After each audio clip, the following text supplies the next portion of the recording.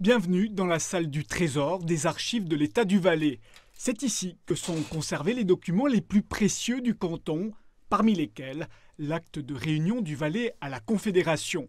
Sous nos yeux, l'acte original qui fait de tout valaisan un Suisse à part entière. Donc ce document euh, est un document relativement sobre puisqu'il se compose de, cinq articles. L'article principal est le premier article qui euh, stipule que la République du Valais est reçue dans la Confédération suisse en qualité de canton. Elle prend rang après le canton de Vaud et est le 20e des États de la Suisse.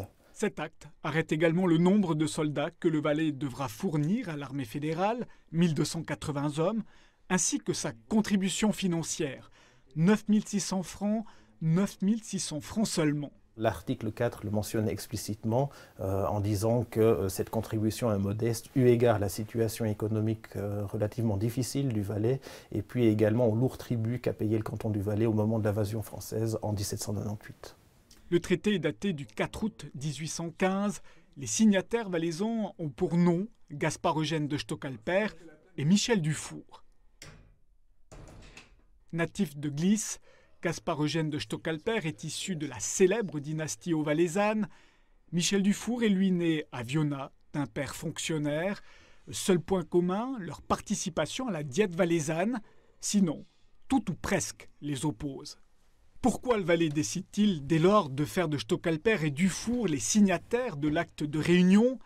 L'historien Pierre-Alain Putala a consacré un ouvrage à Michel Dufour. Il nous livre ici son interprétation. D'un côté, il y a Stockalper qui, en 1814, était pour un Valais indépendant, euh, tout à fait indépendant même, sans aucun lien avec la Suisse, et puis un Dufour qui, à un moment donné, avait pensé à créer un véritable bas Valais indépendant. Et donc le fait que les deux soient ensemble euh, donne quand même, je dirais, un gage euh, aux alliés que le Valais se soumet à leur volonté.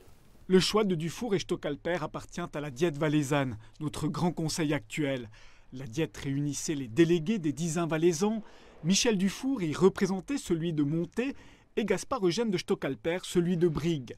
À cette époque, les décisions se prenaient déjà à Sion, sur la rue du Grand Pont, mais pas là, où on pourrait le croire. Voilà à quoi, ressemblait l'espace dans lequel se tenaient les, assemblées de la Diète euh, au moment de l'entrée du Valais dans la Confédération en 1815.